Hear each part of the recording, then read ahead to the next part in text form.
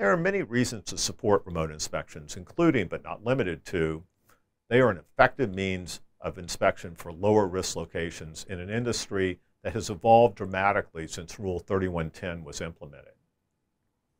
They allow firms to focus limited resources on higher risk locations.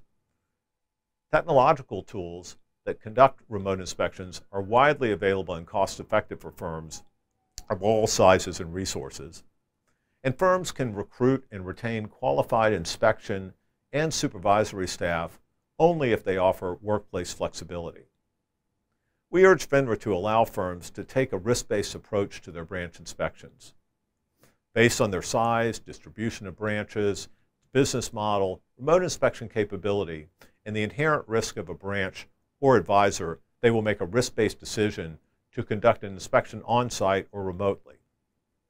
To get there, we understand that regulators need to make an informed decision with additional data, which the FINRA pilot program is designed exactly to do.